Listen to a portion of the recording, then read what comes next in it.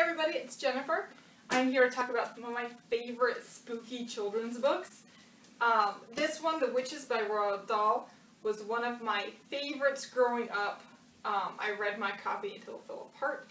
It is creepy. It is about a boy who lives with his grandmother who is always telling him to be careful of the witches and he's just like, Psh, whatever. And then he meets the Grand High Witch and things go terribly wrong for him. Very fun. Um, Golden and Grey is a unremarkable boy and a rather remarkable ghost. Um, neither Tom nor Grey actually ever fit in very well. Um, and Grey decides that he's going to become Tom's best friend. But of course Tom can't see him because Grey is ghost. But then something happens and Tom is able to see and communicate with ghosts. And he's just like, whoa, what happened to my life and why is this going on? So everything changes. And what do they do next? Dying to Meet You is one of my favorite series. Um, the series is called 43 Old Cemetery Road. And there is an author, a best-selling novelist, kind of like an R.L. Stine author, who moves into the house, but he doesn't realize that the owners left their son, there's the son, and his cat, and there's also a ghost haunting the house. And what he doesn't realize is that they don't want to share the house with him.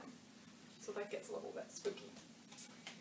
Um, this one isn't as spooky. It's called If the Magic Fits. It's a trilogy of 100 dresses.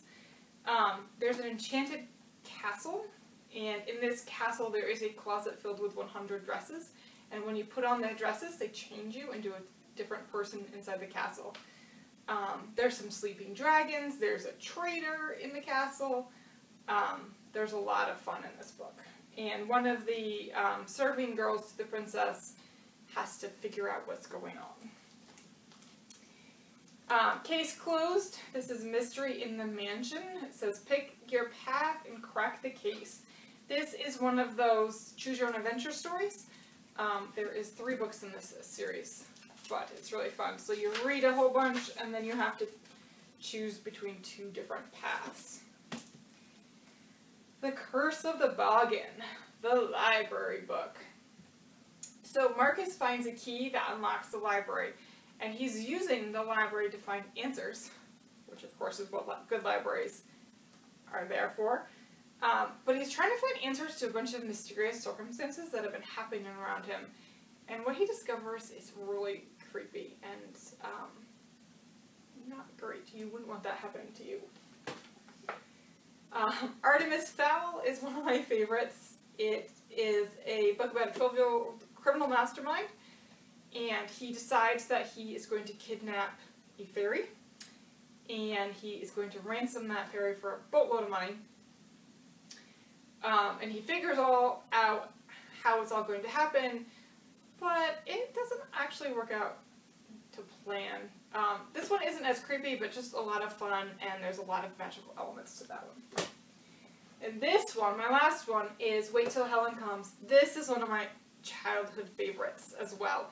This used to give me ugh, so many creepy chills. It's about um, a blended family. So Molly and her brother um, have a new younger stepsister, Heather, and Heather is kind of a brat. She's a real brat. Uh, and she meets this ghost called Helen. And she's always threatening Molly and her brother, wait till Helen comes. Helen's gonna get you. Helen's gonna do all these things to you. And then Helen does. And it is real creepy and real good.